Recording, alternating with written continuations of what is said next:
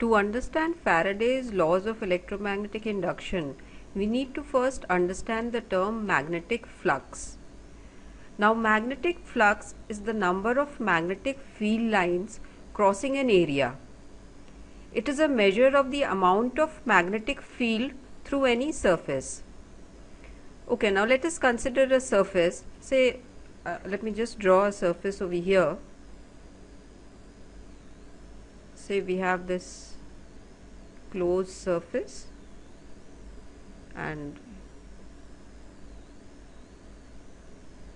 choose a part of the surface. Now say this is a surface and we take a small element of area dA on this surface. So I will just mark this as dA and let us also draw the magnetic field lines because we want to find the flux through this surface. So the field the magnetic field is crossing this area. So these are the magnetic field lines. And we denote this by the magnetic field with B. Now how do we find the magnetic flux through this entire surface? To find the magnetic flux through the area A we proceed as follows. We first divide the surface A into small elements like this of area dA. So, the first step is to divide the surface into small elements of area dA.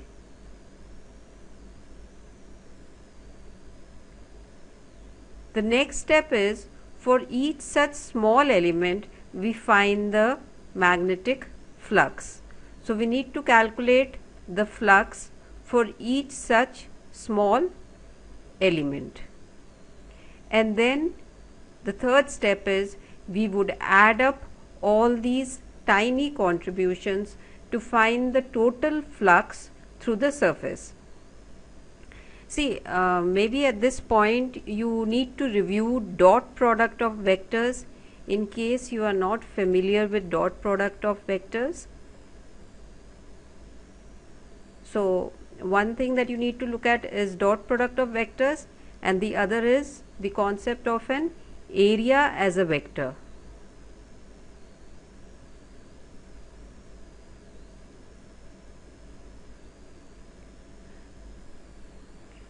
Okay, I'll quickly look at these two uh, concepts of a dot product and area as a vector. First of all, if you recall what is A vector dot B vector, A vector dot B vector is given by magnitude of A times magnitude of B multiplied by cos of the angle between them say the angle between these two vectors a and b is phi. So you have the dot product a dot b is magnitude of a times magnitude of b times cos phi and the resultant product is a scalar quantity. So that is the difference between a scalar product or a dot product and a vector product. A cross product or a vector product gives you a vector quantity. So this is a scalar product because this is a scalar quantity. Now an area is taken as a vector. For instance over here we've marked this small area dA now we have to take an outward drawn normal to this surface. So an outward drawn normal to the surface will be the direction of this area vector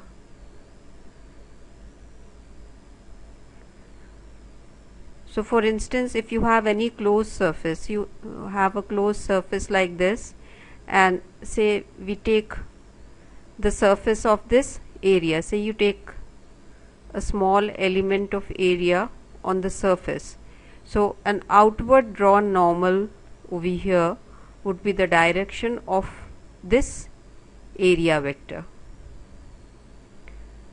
So now we'll proceed further which was we had to find the magnetic flux and to do that we have divided this entire area this area over here into small elements dA we are going to find the magnetic flux through each of them and then we will add them all up to find the total magnetic flux.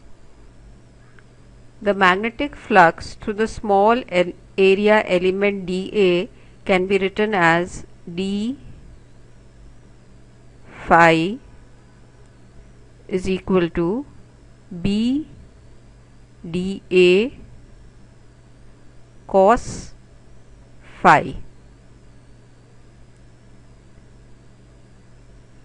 Then the total flux through the entire surface will be given by phi is equal to integral d phi which means adding up all such contributions which gives us integral b dA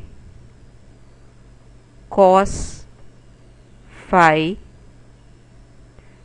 And this is the same as integral b dot dA.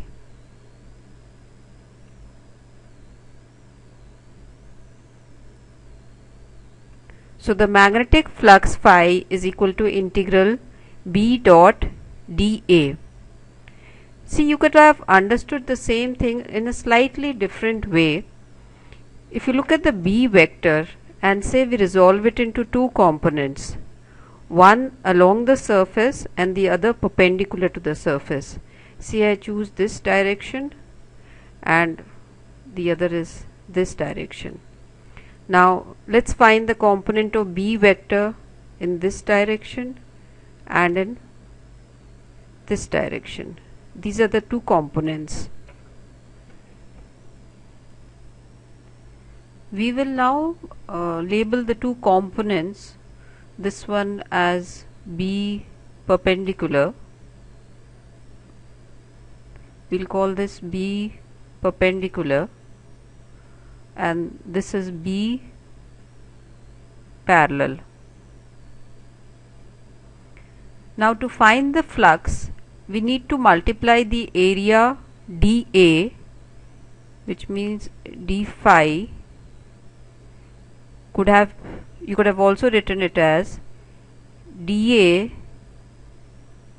multiplied with B perpendicular. Because the parallel component is not crossing the surface at all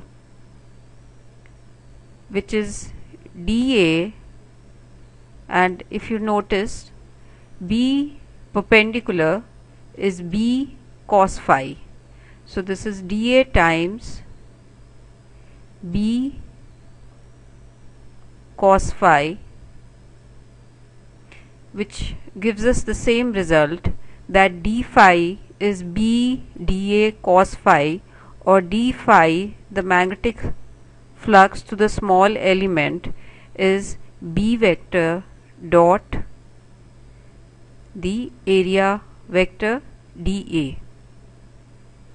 Integrating this we get the total magnetic flux is equal to integral B dot dA. This is the magnetic flux through the surface A. Okay, now if you've understood what we've discussed so far, that the magnetic flux phi is given by B dA cos theta or the let me just write this magnetic flux phi is equal to integral B dot dA. Now in this case when we have the area placed as shown over here when the area is lying along the magnetic field what will the flux be through the surface?